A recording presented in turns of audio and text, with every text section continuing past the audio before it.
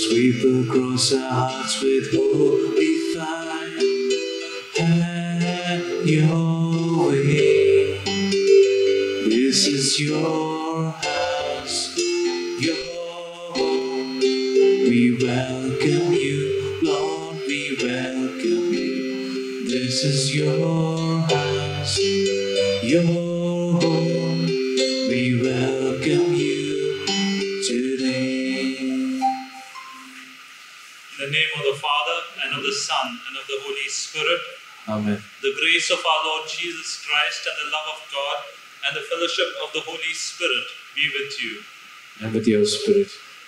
Dear sisters and brothers, we are in the 32nd Sunday of the ordinary time and closing towards the end of the liturgical year.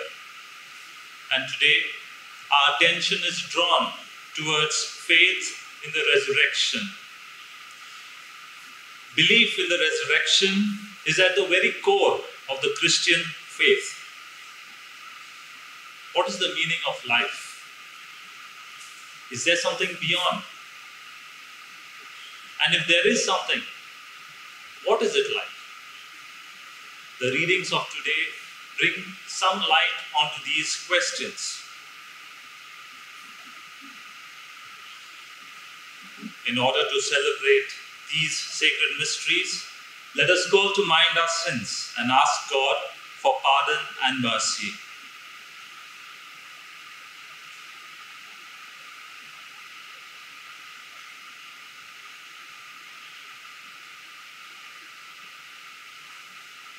I confess to Almighty God and to you, my brothers and sisters, that I have greatly sinned In my thoughts and in my words, in what I have done, in what I have failed to do. Through my fault, through my fault, through my most grievous fault.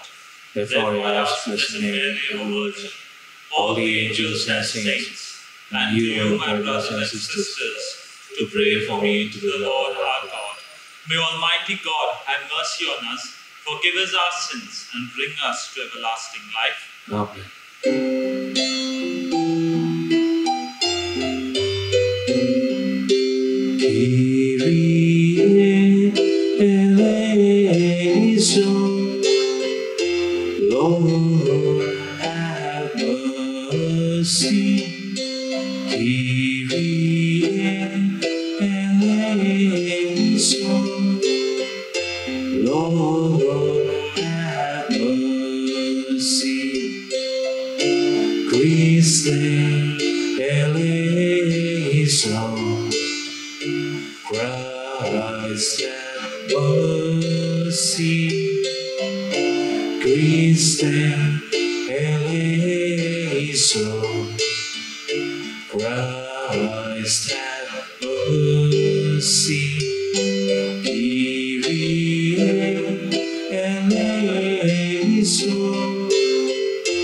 Lord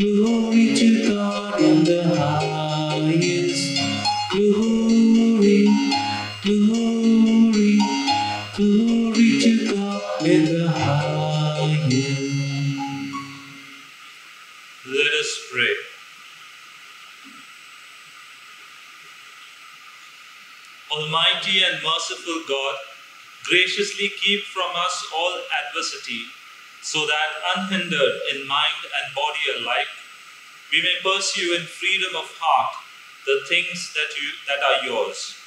Through our Lord Jesus Christ, your Son, who lives and reigns with you in the unity of the Holy Spirit, one God forever and ever. Amen.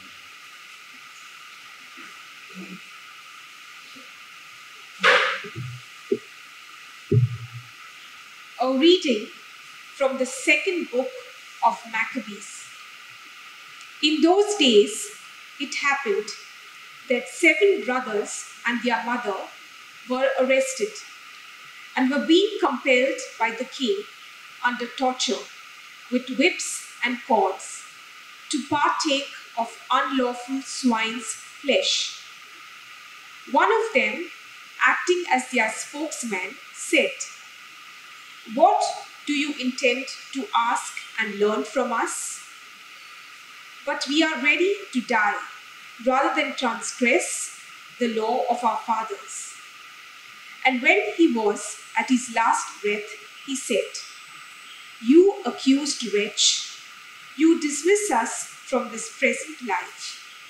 But the King of the universe will raise us up to an everlasting renewal of life, because we have died for his laws. After him, the third was the victim of their sport.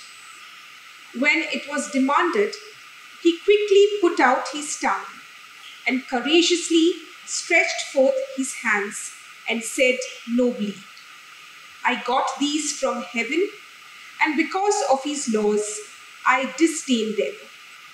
And from him, I hope to get them back again.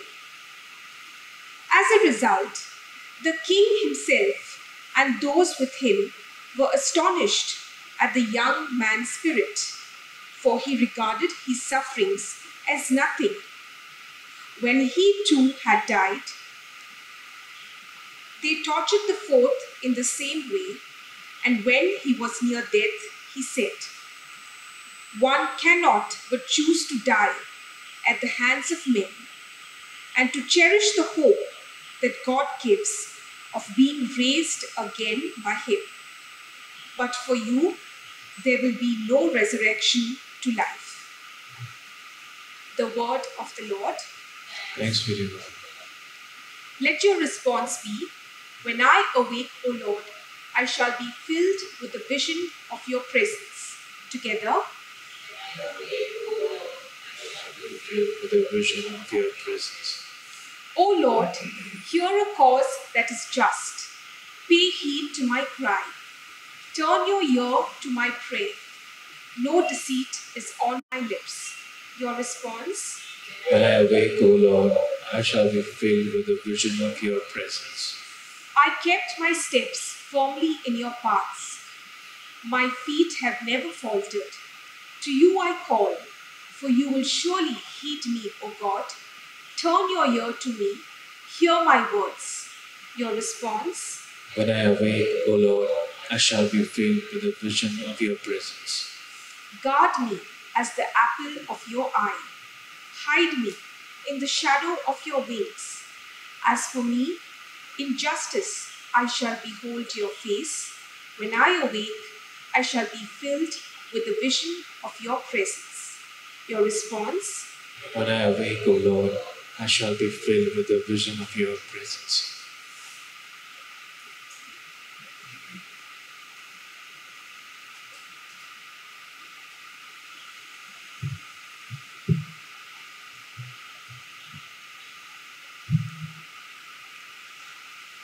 A reading from the second letter of St. Paul to the Thessalonians. Brethren, may our Lord Jesus Christ Himself and God our Father, who loved us and gave us eternal comfort and good hope through grace, comfort your hearts and establish them in every good work and word. Finally, brothers, pray for us that the word of the Lord may speed ahead and be honored, as happened among you, and that we may be delivered from wicked and evil men. For not all have faith, but the Lord is faithful. He will establish you and guard you against the evil one. That and we have confidence in the Lord about you that you are doing and will do the things that we command. May the Lord direct your hearts to the love of God and to the steadfastness of Christ. The word of the Lord. Thanks be to God. Kindly rise.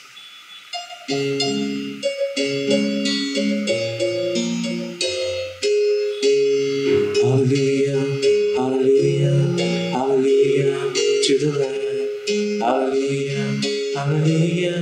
By the blood of Christ we stand. Every tongue, every tribe, every people, every land. Giving glory, giving honor, giving praise unto the Lamb of God. Giving praise unto the Lamb of God. The Lord be with you. With your spirit. A reading from the Holy Gospel according to Luke. Glory to you, O Lord. At that time, there came, there came to Jesus some Sadducees, those who deny that there is a resurrection. And they asked him a question, saying, Teacher, Moses wrote for us that if a man's brother dies, having a wife but no children, the man must take the widow and raise up off- offsprings for his brother. Now there were seven brothers. The first took a wife and died without children. And the second and the third took her. And likewise, all seven left no children and died.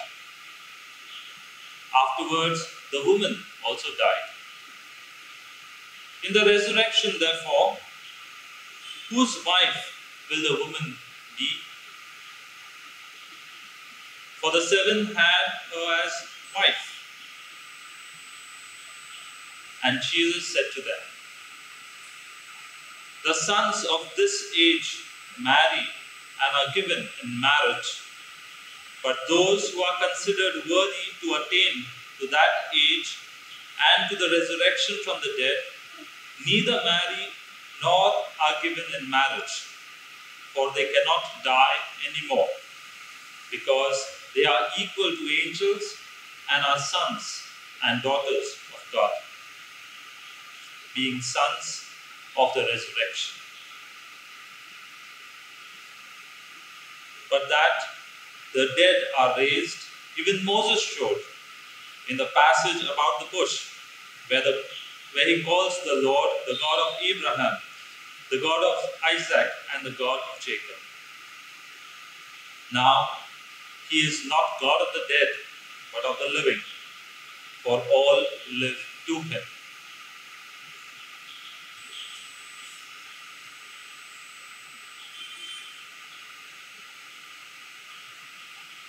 The Gospel of the Lord. Praise to you, Lord Jesus Christ.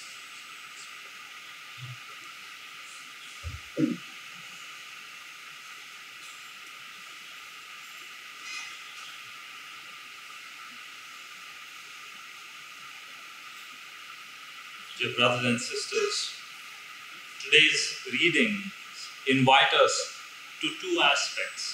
First, faith and faith in the resurrection.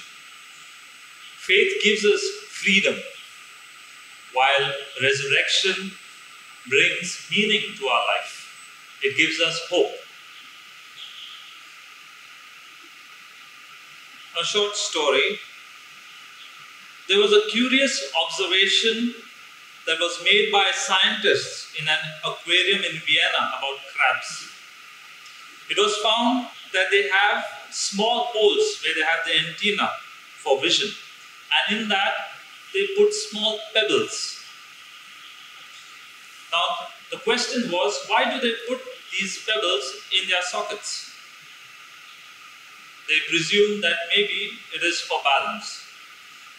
So they tried an experiment.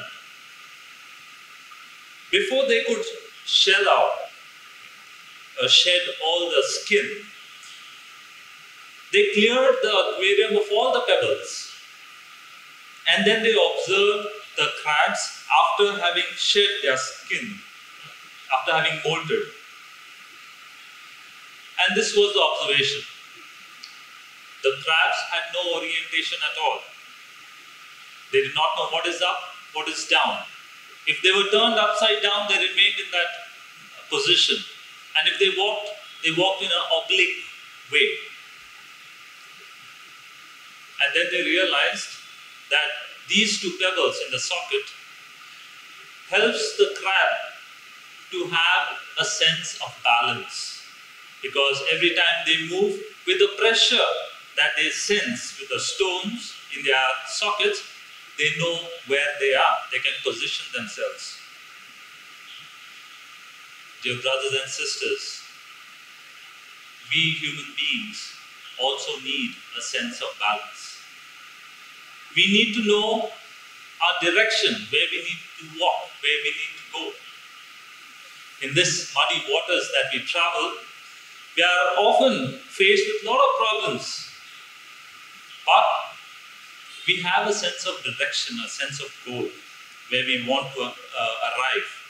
And in terms of St. Augustine, who says, Pondus eternitas, which means having the weight of eternity. The resurrection reminds us of that. In the human history, people in the past desire to know what is beyond life. And in this measure, we have seen the great pyramids of Egypt. We have seen the great uh, burials uh, of the Stone Age times. They have so much to tell us. But in Jesus Christ, we understand that He is the resurrection. As He says, I am the way, the truth, and the life. I am the resurrection. Look at me. And the scripture also says, Remember the end, because in that you will not sin. Today's first reading and the gospel is an invitation to look at this. You have the seven brothers who are going to uh, fight for their faith and die for their faith. On the other hand, we have the Sadducees who do not believe in the resurrection And so they want to find a way to capture Jesus in his words.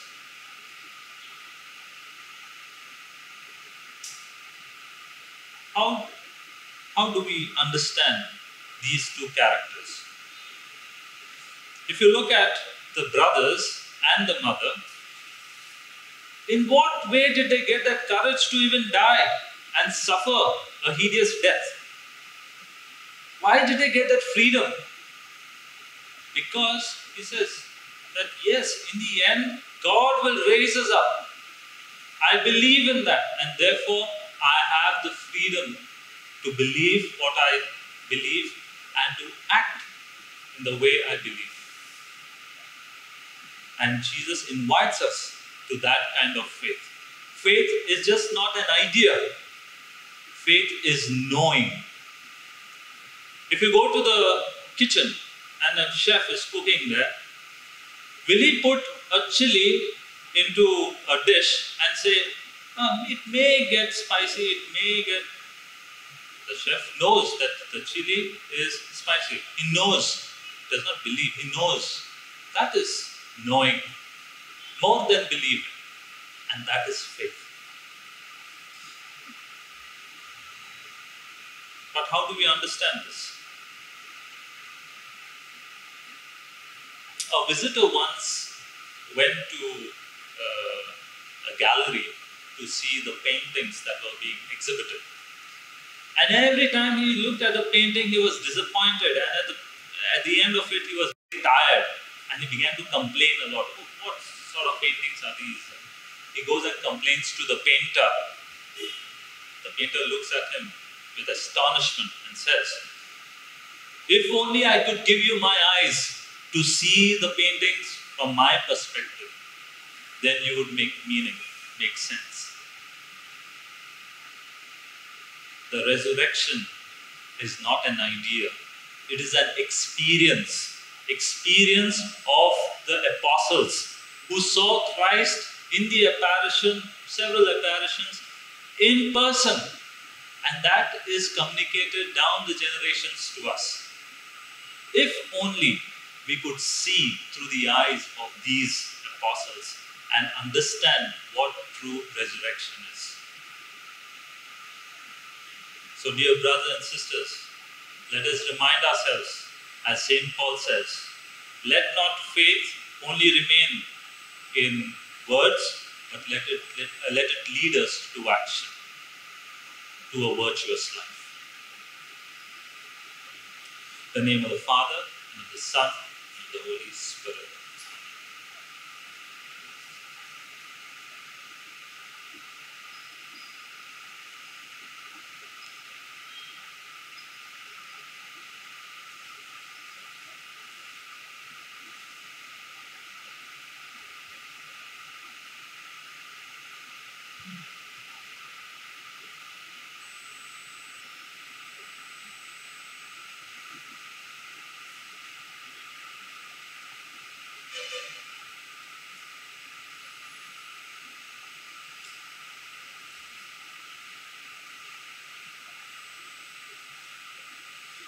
Let us rise and profess our faith.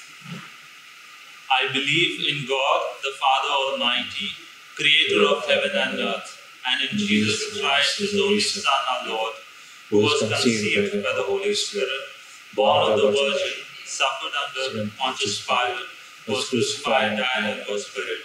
He descended into hell. On the third day, he rose again from the dead.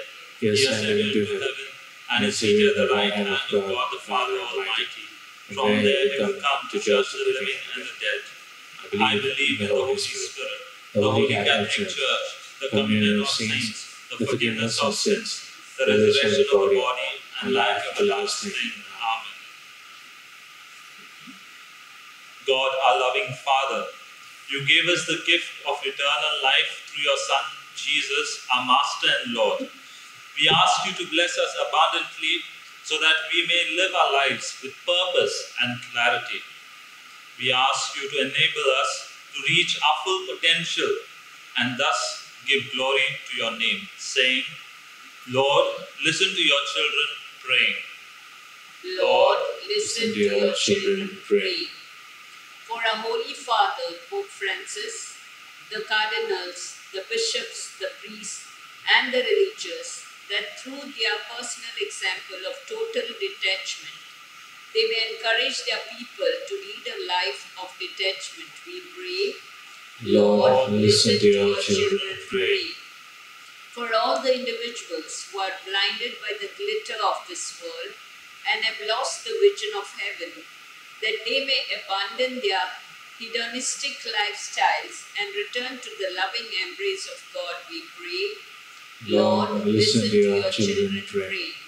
For the terminal ill patients who are languishing in loneliness and pain, that they may take courage from the life and mission of Christ and live out the last days of their lives cheerfully, we pray. Lord, listen to your children, pray.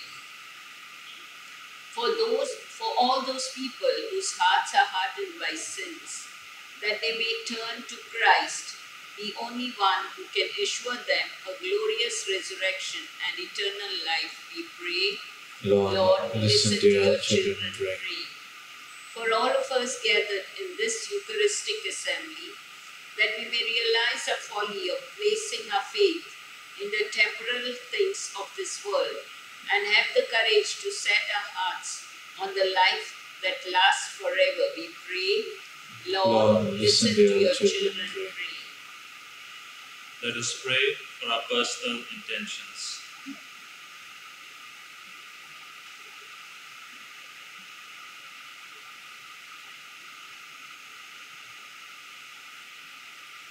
Loving Father, we thank you for having sent your Son Jesus to communicate to us your own divine life. Liberate our hearts from the lure of things, persons, and possessions that give us only temporary happiness. We make this prayer through Christ our Lord. Amen.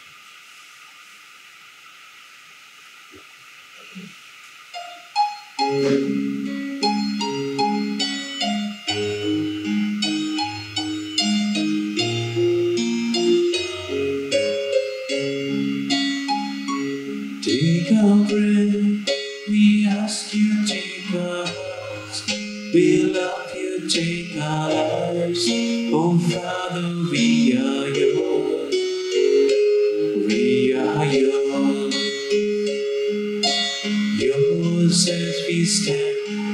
the table you stand.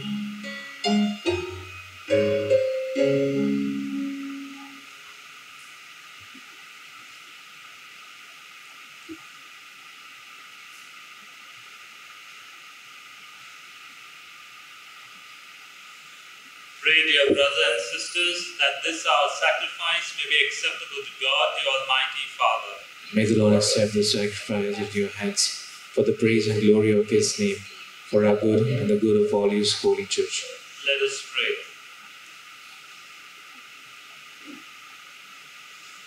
Look with favor, we pray, O Lord, upon the sacrificial gifts offered here, that celebrating in mystery the passion of your Son, we may honor it with loving devotion through Christ our Lord.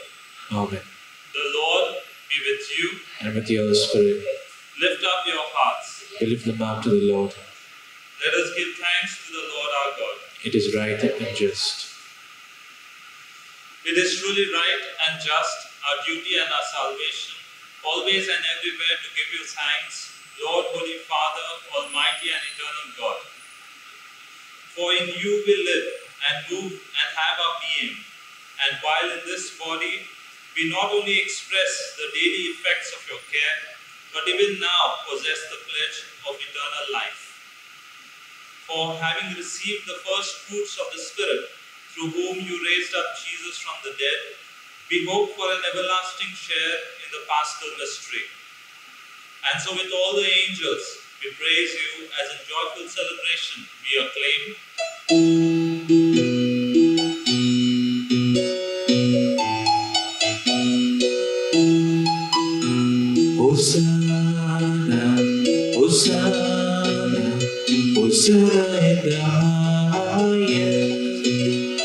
Hosanna, Hosanna, Hosanna in the highest.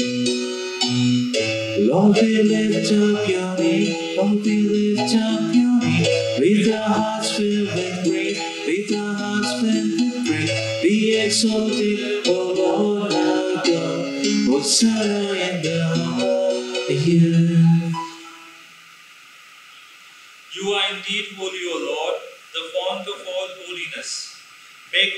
therefore, these gifts, we pray, by sending down your Spirit upon them like a dew fall, so that they may become for us the body and blood of our Lord Jesus Christ.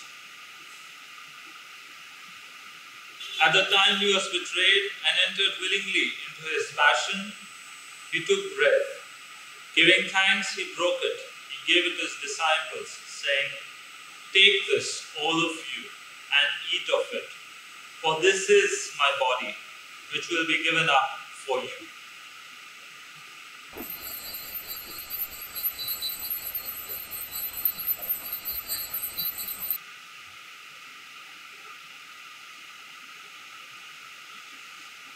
In a similar way, when supper was ended, he took the chalice, and once more giving thanks, he gave it to his disciples, saying, Take this, all of you, and drink from it. For this is the chalice of my blood, the blood of the new and everlasting covenant, which will be poured out for you and for many for the forgiveness of sins. Do this in memory of me.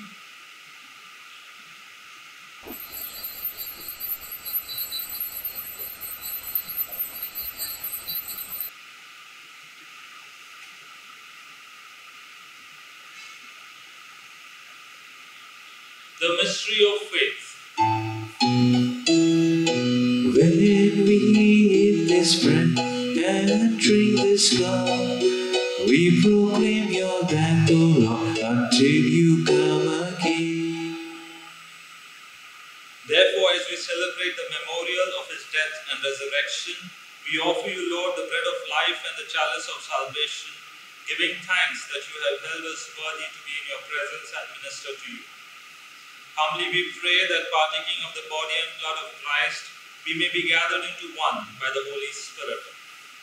Remember, Lord, your church spread throughout the world and bring her to the fullness of charity together with Francis our Pope, Philip Neri our Bishop, and all the clergy. Remember also our brothers and sisters who have fallen asleep in the hope of the resurrection, and all who have died in your mercy, welcome them into the light of your face. Have mercy on us all, we pray, that with the Blessed Virgin Mary, Mother of God, with Blessed Joseph, her spouse, with the blessed apostles, and all the saints who have pleased you throughout the ages, we may merit to be co-heirs to eternal life, and may praise and glorify you through your Son, Jesus Christ.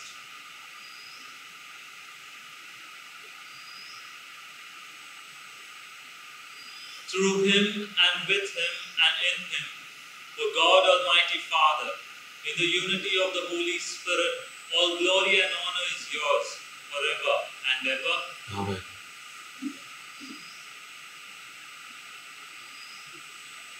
At the Saviour's command and formed by divine teaching, we dare to say, Our Father, who art in heaven, hallowed be thy name. Thy kingdom come, thy will be done on earth as it is in heaven. Give us this day our daily bread, and forgive us our trespasses, as we forgive those who trespass against us.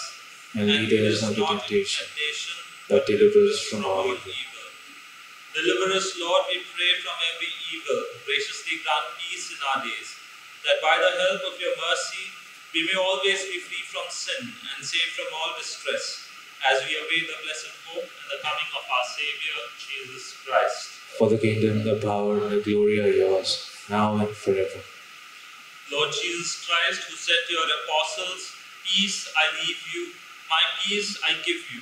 Look not on our sins, but on the faith of your church, and graciously grant her peace and unity in accordance with your will, to live and reign forever and ever. Amen. The peace of the Lord be always with you.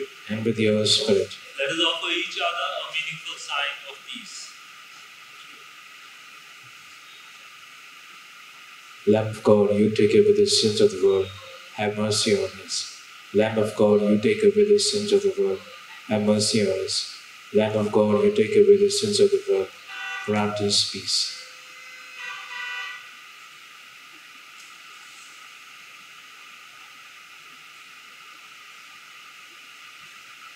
Behold the Lamb of God. Behold him who takes away the sins of the world. Blessed are those who are called to the supper of the Lamb. Lord, I am not worthy that you should enter under my roof, but only say a word, and my soul shall be healed.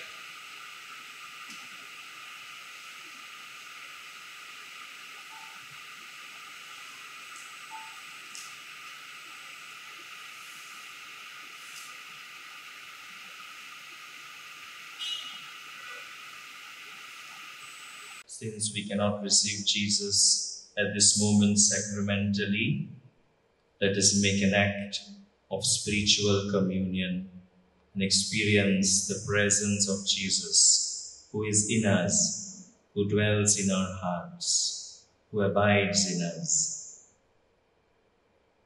My Jesus, I believe that you are present in the most holy sacrament of the altar. I love you above all things, and I desire to receive you into my soul.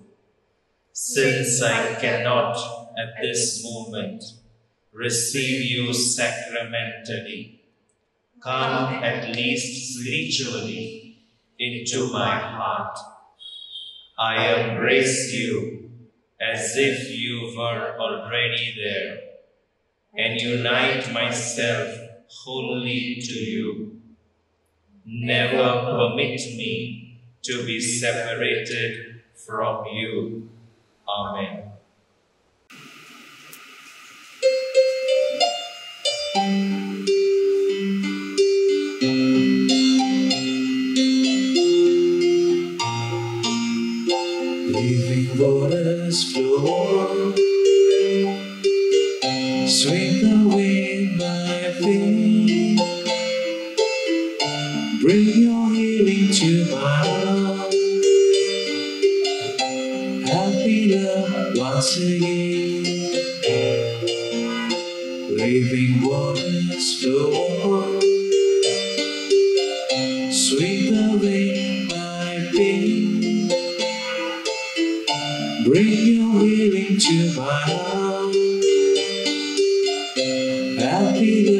Love once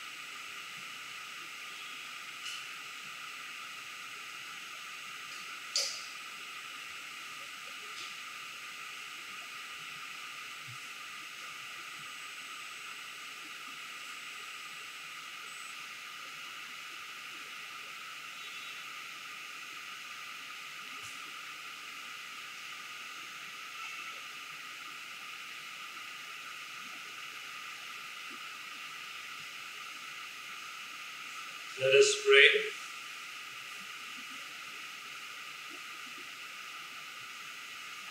Nourished by this sacred gift, O Lord, we give you thanks and beseech your mercy that by the pouring forth of your Spirit, the grace of integrity may endure in those your in those your heavenly power has entered. Through Christ our Lord. Amen. The Lord be with you, And with your spirit. and may Almighty God bless you, the Father, the Son, and the Holy Spirit. Amen. The Mass is ended. Let us go forth to love and serve the Lord. Thanks be Lord.